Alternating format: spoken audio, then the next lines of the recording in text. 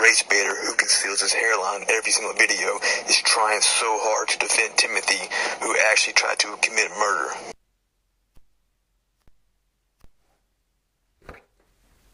That's number one. Number two, please show me the clip where I was trying to defend Timothy or say what he did was justified. Kyle Rittenhouse shot two people.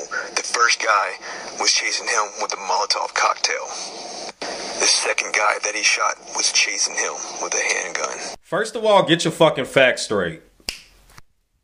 Shittenhouse shot three people and killed two of them. Newsflash, Chucklehead, this is not a cocktail. That was a lie started by right wing bootlicking knob goblins. Molotov cocktails explode on impact. This was clearly a bag. Shirtless man throws what appears to be a plastic bag in the young man's direction.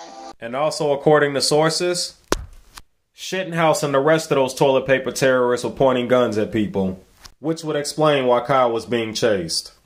This guy literally had his hands up seconds before he got shot, and the only reason they were chasing him because he just murdered Joseph Rosenbaum. There is not a single sane person in this country who would chase after somebody wielding a fucking AR-15 unprovoked. Focus on is the fact that he crossed state lines. He literally drove 20 miles to downtown Kenosha, Wisconsin. I even drew a line where the border is. That's a nice straw man, Goofy, but semantics do not support your argument. Rather, if it was 20 miles or 200 miles, it doesn't change the fact that he crossed the border from one state to another. Which he did not commit the murders. If Shittenhouse wasn't so busy being a dropout loser vigilante and stayed in this state like he was supposed to, he wouldn't have never been in a situation where he needed to self-defend himself. Which is exactly. Yeah, way to contradict yourself. So is he a murderer or was he acting in self defense? Which is it? Yep, I'm convinced your parents are siblings and you are two halves of a whole fucking idiot who clearly does not get sarcasm.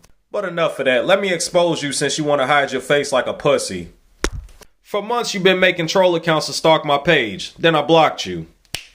And because you a knob goblin, you couldn't resist and had to make another one. But let me show you where you fucked up.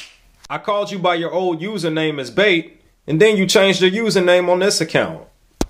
Which ironically matches the same username from another troll account you used. Yeah, being mutuals with your wife on a troll account wasn't a smart move. Because then I found your main account. Which led me to your Facebook, and would you look at that? It's the exact same profile picture as your wife's on TikTok. You had to fucking call Cassidy to mention my hairline? But what I love the most is how you confirmed your real name for me. Now eat a thousand dicks and get your goofy ass off my page, you hefty cave dweller.